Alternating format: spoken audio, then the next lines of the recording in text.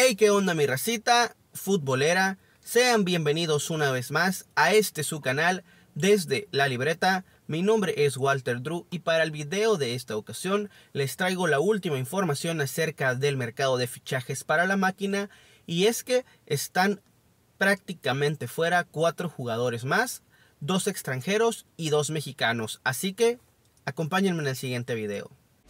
Down this place Off the liquor that we chase. To the face. Baby, I don't need no space. Closer for a taste And I'll show bueno, libreteros, con información de Adrián Esparza Oteo, cuatro jugadores más no entrarían en planes para Cruz Azul y, y, el Tuca Ferretti y ni siquiera estarían viajando a la pretemporada. Se trata de los mediocampistas mexicanos Alexis Gutiérrez, Rafael Vaca, Ramiro Carrera e Iván Morales, ¿no? Este último de forma increíble, no puedo creer que, permaneciera tanto tiempo en Cruz Azul, pero bueno, parece que su estancia en la máquina estaría llegando a su fin. En cuanto a Rafael Vaca, se dice que podría eh, rescindir contrato, o al menos eso se puede entender en el tweet que coloca la, el apodado La Joya.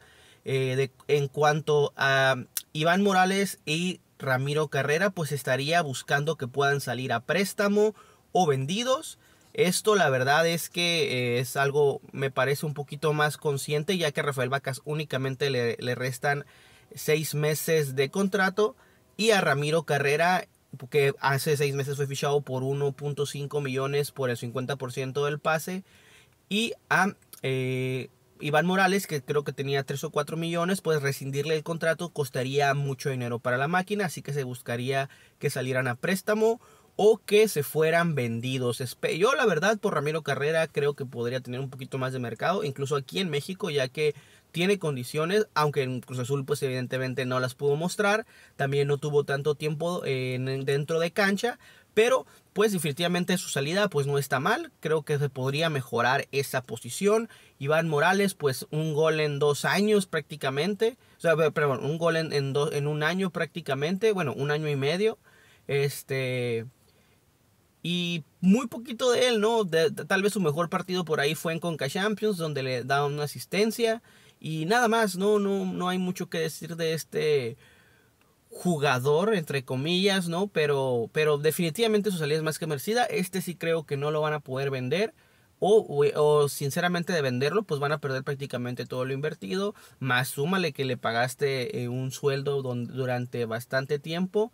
Y eh, Alexis Gutiérrez, este sí podría salir, es lo más seguro es que salga cedido. Hay clubes de primera división que han preguntado por él. Se dice que Juárez estaría interesado en él y este sí me parece un poquito más interesante. Alexis Gutiérrez tiene talento. Evidentemente en Cruz Azul, pues para el Tuca no iba a contar prácticamente. Pero sí creo que lo mejor es que salga, se foguee y si puede rendir en un equipo donde no haya tanta presión, donde no haya tanta exigencia y competencia, donde cuente más para un DT, pues puede volverse un muy buen futbolista y lo regresas en su momento, en un mejor momento o pues ya definitivamente lo puedes vender en una buena cantidad.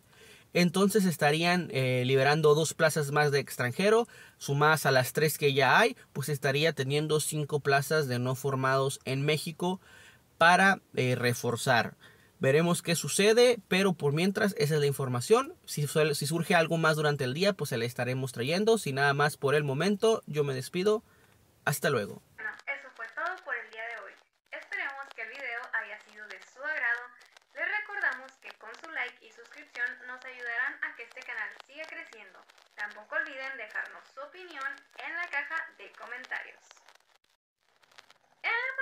les estaremos dejando nuestras redes sociales, donde estaremos publicando información acerca de futuros videos para el canal. Sin nada más por el momento,